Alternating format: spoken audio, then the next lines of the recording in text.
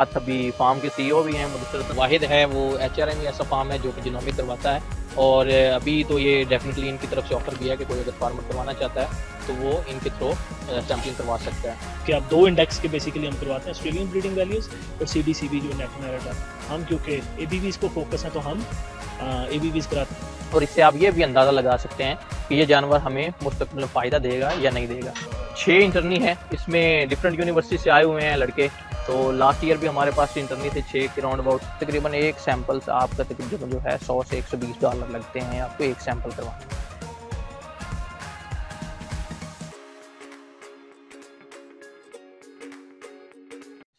अस्सलाम व्यूवर्स मेरा नाम डॉक्टर साहिद महमूद है और मैं एच आर एम पे एज ए फार्म मैनेजर काम कर रहा हूँ। आज की जो एक्टिविटी है, ये काफ़ी जो है, वो इंटरेस्टिंग भी है और इसमें सीखने के लिए काफ़ी सारी चीज़ें जो हैं वो आपको मिलेंगी कि आप ये देखेंगे कि पूरी दुनिया किस तरह चल रही है और हम किस तरह चल रहे हैं। तो इसमें हम आज जो बेसिकली एक्टिविटी करने जाए इसमें हम जिनोमिक सैंपल करने जा रहे हैं एनिमल्स की। तो ये जो है, पाकिस्तान में जो है, वो फ़र्स्ट टाइम जो है, वो एच आर एम डेरीज जो हैं, ये अपने एनिमल्स के सैंपल जो है जिनोमिक कराती है और पाकिस्तान में कोई भी जो है अभी तक जिनोमिक टेस्टिंग नहीं करवा रहा। बट कि अगर मैं पूरी दुनिया की बात करूँ तो पूरी दुनिया जो है इस टूल्स को अडॉप्ट करके यानी इस तरीके कार को इस्तेमाल करके अपने जो एनिमल्स की परफॉर्मेंस है वो डबल कर रहे हैं, अपनी डेयरी को स्ट्रॉन्ग कर रहे हैं। तो इसमें बेसिकली होता गया है कि जिनोमिक टेस्टिंग में होता गया है? तो कोई भी जानवर हम अगर हम चेक करेंगे कि वो जानवर कितना अच्छा है, हमें फ्यूचर में उससे क्या फ़ायदा होगा तो दो तरह से हम उसको चेक कर लेते हैं। एक हम फिनोटिपिकली चेक करते हैं फिनोटिपिकली से मुराद ये है कि हम उसको ज़ाहरी तौर पर देखते हैं, उसमें हम उसका कलर देख लेते हैं, उसकी हाइट देख लेते हैं, उसकी लेग्स देख लेते हैं, उसका आर्डर देखते हैं। तो उससे हम असेसमेंट करते हैं अंदाज़ा लगाते हैं कि ये जानवर कितना जो है अच्छा है। तो ये हम जस्ट अंदाज़ा लगाते हैं, इसमें हम एग्जैक्टली उस पर तो नहीं पहुँच सकते कि ये जानवर फ्यूचर में हमें मुस्तकबिल में क्या देगा। तो दूसरा जो तरीका होता है, उसमें हम जिनोमिक टेस्टिंग कहते हैं। जिनोमिक टेस्टिंग में जिस तरह ह्यूमंस का हम डीएनए सैम्पलिंग करते हैं तो उससे क्या होता है कि हमें उस जानवर का या इंसानों में अगर हम डीएनए की बात करें तो जब डीएनए की टेस्टिंग होती है तो उसमें क्या होता है कि हमें पता होता है जीन्स की सीक्वेंस से कि इस जानवर ने फ्यूचर में क्या परफॉर्म करना है? इस जानवर ने फ्यूचर में दूध कितना देना है? इस जानवर में मुस्तकबिल में आपको जो है वो बच्चे कितना दे सकती है? ये जितना जल्दी प्रेग्नेंट हो सकती है? इसकी लेग्स कितनी स्ट्रॉन्ग है? इसकी जो बॉडी डेप्थ है, वो कितनी है? इसकी अडर की बनावट किस तरह होगी? इसका हेल्थ कैसे होगी? तो इस सारी चीज़ों का आप जो है वो डाटा जो है वो जिनोमिक टेस्टिंग से पता कर लेते हैं। तो इस तरह इसकी रिलायबिलिटी की अगर हम बात करें तो ये भी 78 परसेंट जो है इसकी प्रोडक्शन की हम बात करें तो प्रोडक्शन में 78 परसेंट तो अठहत्तर परसेंट आपको पता लग जाता है कि ये जानवर मुस्तकबिल में हमें कितना दूध देगा। तो ये इतनी इंपॉर्टेंट है। अगर हम सिंपल बात करें कि किसी भी एनिमल्स का अगर हमारे पास जिनोमिक नहीं है, हम ज़ाहरी तौर पर उसको देखें तो हमें तीन साल लगते हैं किसी भी जानवर को चेक करने के लिए कि ये जानवर कितना दूध देगा। तो वो एक लॉन्ग प्रोसेस है। तीन साल तक हम उस जानवर को फॉर एग्जांपल पालते हैं फ़ीड को खर्चा करते हैं। तो जाके एंड पे तीन साल बाद अगर वो जानवर परफॉर्म नहीं करता तो वो हमारी सारी मेहनत और पैसा जो है वो ज़ाया चला जाता है। बट जिनोमिक के ज़रिए अगर हम एक बच्चे का तीन महीने का, दो महीने का जब हम जिनोमिक कराते हैं तो हमें वहीं से पता चल जाता है कि ये जानवर जो है फ्यूचर में क्या करेगा, मुस्तकबिल में क्या करे तो वहाँ से हम अपना डिसीज़न ले सकते हैं कि ये जानवर हमने अपने फार्म पे रखना है या नहीं रखना। तो ये इतनी इंपॉर्टेंट है। पूरी दुनिया इस टूल को यूज़ कर रही है बट पाकिस्तान में डेफिनेटली हम बहुत पीछे हैं अभी। और अगर हमने जो है जदीद डेयरी को अडोप्ट करना है, जदीद डेयरी में चीज़ों को आगे लेकर चलना है तो ये टूल हमें जो है इसको लाजमी अडॉप्ट करना पड़ेगा। तो एच आर एम ये वाइड फार्म है जहाँ पे सारे एनिमल्स का जिनोमिक हुआ हुआ है और हमारी जो सिलेक्शन होती है एनिमल्स की, वो भी इसी की बेस पे होती है। इस चीज़ का इतना फ़ायदा होता है कि हम दफ्तर में बैठ के किसी भी जानवर के अगेंस्ट उसका बुल यूज़ कर सकते हैं और उससे हम उसकी नेक्स्ट जनरेशन अगली नस्ल को हम इम्प्रूव करते हैं। और इससे आप ये भी अंदाज़ा लगा सकते हैं कि ये जानवर हमें मुस्तकबिल फ़ायदा देगा या नहीं देगा। ये मैंने आपको तरीका बता दिया कि जिनोमिक हम कराते क्यों और उसका फ़ायदा क्या होता है। अगर हम इस खर्च की बात करें तो ये तकरीबन एक सैंपल्स आपका तकरीबन जो है सौ से एक सौ बीस डॉलर लगते हैं आपको एक सैंपल करवाने में। तो ये डेफिनेटली यहाँ पे पाकिस्तान में नहीं होता। ये हमें भेजना पड़ता है जोइटिस कंपनी में। अच्छा अब हम इसको थोड़ा सा मज़ीद क्लियर करते हैं कि हमने सैंपल किस तरह कलेक्ट करना है। सैम्पलिंग हम जब ने एनिमल्स की करनी है तो हम इनको जो है वो एक दिन, दो दिन पहले अच्छी तरह शावर देते हैं। ताकि ये अच्छी तरह साफ़ हो जाए। शावर देने के बाद हमारे पास जब हम सैम्पलिंग कलेक्ट करते हैं तो हमारे जो इनके दम है या टेल है, वहाँ पे जो बाल होते हैं, वो अच्छी तरह साफ़ होते हैं शावर्स की वजह। अच्छा वहाँ से हम जो है चालीस पचास इसके बाल जो हैं, वो जड़ से उखाड़ते हैं।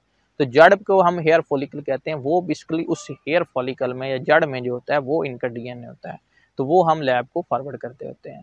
तो अच्छा सैम्पलिंग कलेक्ट करने के बाद आप बाल जो है, उसके पूछल से या दम से जो है वो उखाड़ लेते हैं, उसके बाद ये कली है, इसमें आपने उसको फॉइल कर देना है फोल्ड करके अच्छी तरह रख देना है। अच्छा इसके बाद हम क्या करते हैं कि यहाँ हार्ट एयर ओवन के थ्रू हम इनको 72 डिग्री सेंटीग्रेड पे कुछ वक्त के लिए कि हम इसको हीट ट्रीटमेंट करते हैं। हीट ट्रीटमेंट का बेसिकली मकसद ये होता है, क्योंकि पाकिस्तान में बहुत सी डिज़ीज़ ऐसी हैं, बहुत सी बीमारियाँ हैं, जो मौजूद हैं बट दूसरी मुल्कों में जिस तरह जो एडवांस मुल्क हैं ऑस्ट्रेलिया की बात कर लें या अमेरिका की बात करें तो वहाँ पे कुछ बीमारियाँ जो हैं वो फॉर डिज़ीज़ फ्री वो कंट्रीज़ हैं। जिस तरह हम बात करें एफ़ एम डी मुँह खुर की तो वहाँ पर नहीं है। इसी तरह ब्रूसेला है तो वहाँ पर भी नहीं है। तो हमारा हीट ट्रीटमेंट करने का मकसद ये होता है कि वो जो भी यहाँ पे अगर जरासीम कोई आता है बालों के साथ तो वो हीट ट्रीटमेंट के ज़रिए जो है वो ख़त्म हो जाए।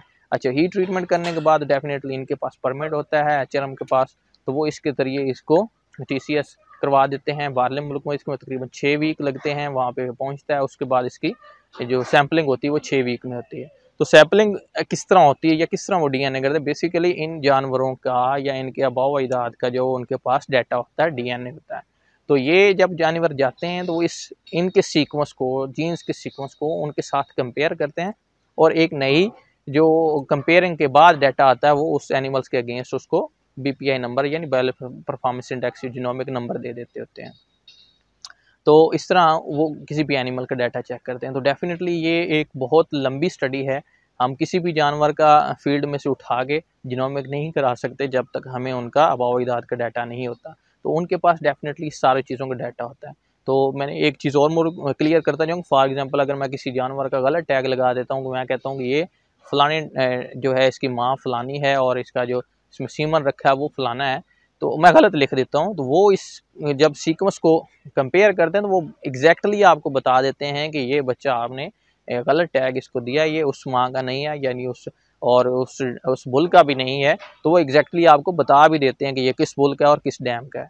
तो इस तरह ये कितनी पावरफुल है आपको पता इससे लग जाएगा। तो ये बेसिक था कि आप सैम्पलिंग किस तरह कलेक्ट करते हैं और किस तरह सेंड करते हैं। अगर कोई बंदा करवाना भी चाहे तो डेफिनेटली एच के थ्रू ये सैम्पलिंग करवा सकता है। तो क्रॉस का सैम्पलिंग करवाने का इतना फ़ायदा नहीं होता क्योंकि इसकी रिलायबिलिटी इतनी अच्छी होती। किसी भी प्योर जर्सी हो, चाहे चाहे ऑल्सन फ्रीजन हो तो किसी भी प्योर एनिमल का आप जो सैम्पलिंग है वो करवा सकते हैं। तो ये बेसिक थी आज की एक्टिविटी जिसमें मैंने आपको बता दिया कि आपने सैम्पलिंग किस तरह लेनी है और सेंड कैसे करना है। तो डेफिनेटली ये हमारे पास आता है डाटा सारा। तो हमें हर एनिमल्स का पता होता है कि इसकी जिनोमिक स्ट्रेंथ कितनी है। तो उसके अगेंस्ट हम उसकी अगली नस्ल को बढ़ाने के लिए वो बुल में यूज़ करते हैं, जो उससे बेहतर होता है और अगली नस्ल को इम्प्रूव करता है। तो इससे ये फ़ायदा होता है कि आप, ये हमारे मोस्टली फार्मर्स का क्वेश्चन होता है कि हम इस जानवर के अगेंस्ट कौन सा बुल यूज़ करें। तो फिनोटिपिकली हम गैस करके अंदाज़ा लगा के बता देते हैं कि आप ये कर लें। वो मे भी वो उसके लिए अच्छा भी हो सकता है अच्छा नहीं भी हो सकता, लेकिन जिनोमे की भी बेस पे वो हंड्रेड परसेंट आपका एनिमल जो है, उसके अगेंस्ट जो बुल आप यूज़ करते हैं, वो अगली नस्ल में इम्प्रूवमेंट दिखाता है। हमारे फार्म पे कुछ इंटरनीज आए हैं, उनका भी इंट्रोडक्शन करवाएँगे। छः इंटरनी है, इसमें डिफरेंट यूनिवर्सिटी से आए हुए हैं लड़के। तो लास्ट ईयर भी हमारे पास इंटरनी थे छः के राउंड अबाउट हमारी कोशिश होती है एच आर एम की पास करके हर साल हम तकरीबन जो है पाँच से दस लड़के आते हैं हमारे पास डिफरेंट यूनिवर्सिटी से। और हमारा ये विजन भी है कि ताकि जो लड़के हैं न्यू वो सीखें और आगे जाके पाकिस्तान की सर्विंग करें इस स्पेसिफिक वेटनरी शोबे में। तो डेयरी फ़ार्मिंग जैसे पाकिस्तान में ग्रो कर रही है तो डेफिनेटली एक्सपर्ट्स की ज़रूरत है। तो यहाँ पे लर्निंग के लिए बहुत ही, जो है, वो अच्छे मौके हैं जिसमें हम बात करें तो एनिमल्स हमारे पास टॉप कैटेगरी के हैं। सिमिलरली जहाँ पे जो मैनेजमेंट के हैं वो भी टॉप लेवल पे हो रही है। तो ये थोड़ा सा इंट्रोडक्शन था, अभी अभी फार्म के सीईओ भी हैं मुदसर हसन साहब। तो उनका भी साथ आपको जो है इंट्रोडक्शन भी कराते जाएँगे साथ साथ उनसे पूछते जाएँगे कि वो किस तरह सैम्पलिंग करेंगे और एंड पे ये किस तरह जो है वो जोइटस कंपनी के थ्रू हम करवाते होते हैं तो उनको कैसे ये डिलीवर करने हैं और किस तरह वो इसको रिज़ल्ट्स को जो है वो करते हैं चेक तो ये सारी चीज़ें हम साथ बाई साथ डिस्कस करते जाएँगे और साथ ये एनिमल्स भी आपको दिखाते जाते हैं। ये एनिमल्स हमारे जो हैं, ये जो विंटर की काविंग थी वो थे। अभी इस बैज की जो एज है, वो एवरेज जो है फाइव से सिक्स मंथ एज है और वेट की हम बात करें तो ये थ्री हंड्रेड से लेके थ्री एटी तक इनका है वेट तो इसमें कुछ हीफर्स जो हैं, वो नाइन मंथ की भी हैं, जिनका नियर टू फोर हंड्रेड के जी वेट हो चुका है। तो इसको अब हम स्टार्ट करते हैं तो चलते हैं मुदस हसन की इसकी तरफ़ तो पूछते हैं उनसे कि किस तरह हम सैम्पलिंग करेंगे और इनमें किस, किन बातों का ध्यान रखना जी सलामकुम मेन जो पर्पज़ इस जो जिनोमिक टेस्ट का है पहले अगर थोड़ा सा मैं वाइंड अप करूँ इन बच्चों का तो हम कोशिश करते हैं कि यूजुअली जो बैज हम कलेक्ट करें, उसमें जो हमारी नई इंटर्नीज आए होते हैं, वो इस एक्सपीरियंस के थ्रू गुजरें। बिकॉज़ आई थिंक हम ओनली फार्म है जो जिनोमिक टेस्ट करवाते हैं तो इनके लिए ये बड़ी आई थिंक एक different sort of learning curve है। अब जिनोमिक टेस्ट की जो फार्मर्स हैं और इन जो हमारे साथ हैं स्टूडेंट इनके लिए बताने के लिए क्यों ज़रूरी है। आजकल की मॉडर्न फ़ार्मिंग में अगर आप मॉडर्न तरीके से या साइंटिफिकली तरीके से आप ब्रीडिंग करना चाहते हैं तो जिनोमिक टेस्टिंग की है। मॉडर्न ब्रीडिंग है या मॉडर्न जो ब्रीडर है, उसको, वो बगैर जिनोमिक के इम्पॉसिबल है। और अगर प्योर ब्रीड को आपने लेके जाना है। तो हम साल में तकरीबन कोशिश करते हैं कि एक जनोमी करें। अब क्योंकि हर्ड बढ़ रहा है तो हमें दो जनोमी करनी पड़ेंगी। तो एक ये अब विंटर कलेक्शन है। अब इसका पर्पज़ क्या है कि हमें मुख्तलिफ़ जो एनिमल्स की वो जो ग्राफ आता है, उसके ग्राफ को फिर हम बेहतर करने के लिए ताकि उसकी अपवर्ड कर्व जाए। एक स्टैंडर्ड डेविएशन, दो स्टैंडर्ड डेविएशन इम्प्रूव करने के लिए। फिर हम जिनोमिक टेस्टिंग भेजते हैं, फिर उनको हम फ़िल्टर लगाते हैं, फिर मैं और डॉक्टर साहब देख के फिर उनकी फ्यूचर जो जेनेटिक सिलेक्शन है वो होती है, बहुत आसान हो जाती है। क्योंकि हमारे पास उनकी सारी करवाई होती है, उसके ट्रेड्स में क्या कमी है, किस ट्रेड पे हम थोड़ा सा कॉम्प्रोमाइज़ कर सकते हैं, किस ट्रेड पे हम उस पर जो इम्प्रूव करने के लिए दूसरे को हम सेक्रीफाइस करते हैं। तो आप कर्व आपकी ऊपर ही जा रही होती है। अदरवाइज़ वैसे मेरा ख्याल है जब आप एनिमल्स के लिए कोई जेनेटिक्स ख़रीदते हैं तो प्योर ब्रेड के लिए मोर लेस जो आपका फार्म का डाटा है, उसके गैस वर्क पे आपको ये करना पड़ेगा। ये बेसिकली मेन मेथडोलॉजी है जिनोमिक टेस्टिंग के लिए कि एनिमल का रिज़ल्ट आया, उसकी आपको वीकनेस पता चली, उसको कॉम्प्लीमेंट करने के लिए आप जो नेक्स्ट जेनेटिक सिलेक्शन करते हैं, वो आपके लिए बहुत सिंपल हो जाते हैं। तो ये बेसिक था कि हम जो है वो जेनेटिक सैम्पलिंग करते क्यों हैं और उसका मदरसे से सामने आपको बताया। तो एक हम मज़ीद इनसे ये क्वेश्चन करने जा रहे हैं कि कि क्वेश्चन आता है लोगों का कि जिनोमिक टेस्टिंग अगर आप करते हैं तो इसका बेसिकली फ़ायदा क्या होता है? वो तकरीबन आपको इस का आंसर मिल गया होगा। तो अगला क्वेश्चन ये है कि आप जिनोमिक टेस्टिंग अगर कोई भी फार्मर करवाना चाहे पाकिस्तान में तो उसका एक्सपेंसेस क्या है और वो किस तरह इसको अप्रोच कर सकते हैं? तो इसके मुताबिक थोड़ा सा हम दो आ, दो जो हैं इंडेक्सेस उनका जिनोमिक टेस्ट हम करवाते हैं।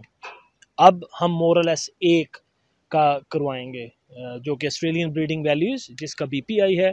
आप सीडीसीबी का भी करवा सकते हैं जो कि नेट मेरिट है वो भी होता है। अगर आप दोनों का करवाते हैं तो तकरीबन अराउंड अबाउट 100 से 120 यूएस डॉलर लगेगा। अगर आप सिर्फ़ ए बी का करवाते हैं तो तकरीबन 100 डॉलर आपका यूएसडी वो लग जाता है। अगर दो एनिमल हैं तो फिर ऑफकोर्स जो हमारी टीम जाएगी, वहाँ पे सैंपल सेलेक्ट करना कहाँ से है? यानी अगर हम इस्लामाबाद जा रहे हैं तो हम 200 डॉलर के लिए या तो उसके लिए नहीं, फिर हमारी टीम का जो एक्सपेंस होगा वहाँ पे जाने पे, वो हम करवा सकते हैं। यही सिंपल वे है। कि आप दो इंडेक्स के बेसिकली हम करवाते हैं ऑस्ट्रेलियन ब्रीडिंग वैल्यूज़ और सी डी सी बी जो नेट मेरिट है। हम क्योंकि ए बी वीज़ को फोकस है तो हम ए बी वीज़ कराते हैं, वो हमें बीस तीस डॉलर चीपर पड़ता है। तो ये तरीका था। तो आई थिंक सो जो पाकिस्तान में जो वाहिद है, वो एच आर एम ऐसा फार्म है जो कि जिनोमिक करवाता है। और अभी तो ये डेफिनेटली इनकी तरफ़ से ऑफ़र भी है कि कोई अगर फार्मर करवाना चाहता है तो वो इनके थ्रू सैम्पलिंग करवा सकता है। तो ये बेसिक था। एक मैं आपको ये चीज़ ऐड करता जाऊँगा। बेसिकली जिनोमिक टेस्टिंग से ये होता है कि आपको एनिमल का जो है, वो सारी जिनोमिक उसकी जो डीएनए है, वो उसका सामने आ जाता है। तो उसको देखते हुए आप एनिमल की जो परफॉर्मेंस है, उसको एग्जैक्टली exactly आप इम्प्रूव कर सकते हैं अगली जनरेशन के लिए। जब हम करते हैं ब्रीड इम्प्रूव इम्प्रूवमेंट की बात तो अगर हमारे पास जिनोमिक नहीं है तो हम फिनोटिपिकली फिनोटिपिकली से मुराद है कि ज़ाहरी तौर पर जानवर को देख के कोई भी बोल उसके अगेंस्ट सेलेक्ट कर पाते हैं। लेकिन उसमें हमें ये नहीं पता होता कि उसकी जिनोमिक कहाँ पर खड़ी है। और कौन सा बुल उसके लिए ज़्यादा फ़ायदेमंद होगा? तो जिनोमिक से आपसे ये है कि आपकी हंड्रेड परसेंट पिक्चर उसके सामने आ जाती है। आप एनिमल को देखे बगैर उसके अगेंस्ट बुल सेलेक्ट करके और उसकी नेक्स्ट जनरेशन को इम्प्रूव करते हैं। तो अभी ये थोड़ा सा इंट्रोडक्शन था इसका। अब हम करते हैं सैम्पलिंग कि किस तरह करनी है। तो वो आपको एक दिखाते हैं वो दसर साहब आपको एक लाइव सैम्पलिंग जो लास्ट जो जो जिनोमिक की इंफॉर्मेशन है ना आपको वो प्रोडक्शन की आपको 70 से 78 परसेंट आपको प्रोडक्शन की एक्यूरेसी है इसकी। तो एक सैंपल करा था जी तो सैंपल के साथ में ये ये क्लोज करना। तो ये बेसिकली आपने टेल से आपको टेल से पकड़ना तो आपने मेक श्योर करना है कि 25 से 50 जो फॉलिकल्स हैं वो आपके आए। तो ये देखें ये हाँ, हमें पता था आज करना है तो हमारी टीम ने आज शावर नहीं चलाए ये ड्राई है। तो आप बेसिकली किसी भी जो ग्रुप है जिसमें आपको लगे कि 25 से 50 आपके जो हेयर हैं वो आ जाएँगे और फिर आपने मेक श्योर करना है इसको आपने खींचना है और आपके ये आपको फॉलिकल्स आ गए। तो ये मोर देन फिफ्टी सिक्सटी ये तकरीबन हंड्रेड के लगभग फॉलिकल्स हैं। फिर हम इनको आ, जो है ये जो एक्स्ट्रा इनको हम निकाल देते हैं और बाकी इसमें कर लेते हैं। इसके ऊपर फिर नंबर लिखेंगे, फिर इसका एक हीटिंग प्रोसेस है। हम लैब में ले जाएँगे, इसको हीट पे करेंगे, क्योंकि पाकिस्तान एफएमडी फ्री नहीं है। इसलिए जब हम इसको बाहर भेजते हैं तो परमिट की रिक्वायरमेंट है कि आप इसको बहत्तर सेंटी डिग्री पे आपने एक सर्टन अमाउंट ऑफ़ टाइम तक इसको हीट करना है। ताकि इसके अंदर जितनी भी जो डिज़ीज़ आपको बेहतर बता सकते हैं, इनको H S F M D वगैरह, वो सारा इसमें से किल हो जाता है। जी तो ये बेसिकली ऐसे ही था कि सबसे पहले आपने हेयर के सैंपल लेने हैं तो हेयर के सैंपल के जो बेसिकली बीच में होता है, जो स्किन में लगा होता है, इसको हम हेयर फॉलिकल्स कहते हैं तो वहीं से इसका डीएनए होता है। ह्यूमन में भी सेम होता है, जब आप डीएनए कराते हैं तो बाल से वो फॉलिकल के थ्रू आपका डीएनए करते हैं। तो सेम यही है, इसमें आपका पचास के राउंड अबाउट हेयर्स होने चाहिए और उसमें वो क्लीन होने चाहिए। तो उसके फॉलिकल्स आने चाहिए और फॉलिकल्स जब आएँगे उसको हमने कली में उसको फॉइल को फॉइल के साथ फोल्ड कर देना है। और उसके बाद हीट ट्रीटमेंट का बेसिकली यही मकसद है कि वो डेफिनेटली पाकिस्तान जो है वो बहुत सी डिज़ीज़ में फ्री नहीं है, जबकि दूसरे जो जो कंट्रीज़ हैं, वो फ्री हैं काफ़ी सारे डिज़ीज़ से।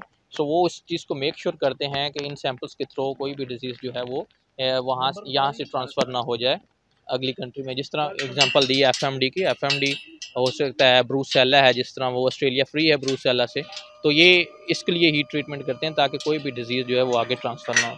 तो इसी तरह हम सारे जो हैं इन एनिमल्स का सैंपल लेते जाएँगे और साथ एक चीज़ मैं और ऐड करता जाऊँ। ये जो सारी हीफर्स हैं, ये ऑस्ट्रेलियन जेनेटिक सीमन की हैं तो आप ये भी देख सकते हैं कि इनकी जो रिज़ल्ट आए हैं हमारे पास तो वो कैसे हैं। और साथ आप हीफर्स भी देखते जाएँगे तो ये एक से एक जो है वो बढ़ के रहे तो इस, इसके रिलेटेड अगर आपका कोई क्वेश्चन है कि आप जिनोमिक टेस्टिंग किस तरह करते हैं, इसको एवेलुएट किस तरह करते हैं या किस तरह ये वर्क करती है, इस तरह का कोई भी आपका क्वेश्चन है तो वो मुझे इनबॉक्स कर सकते हैं।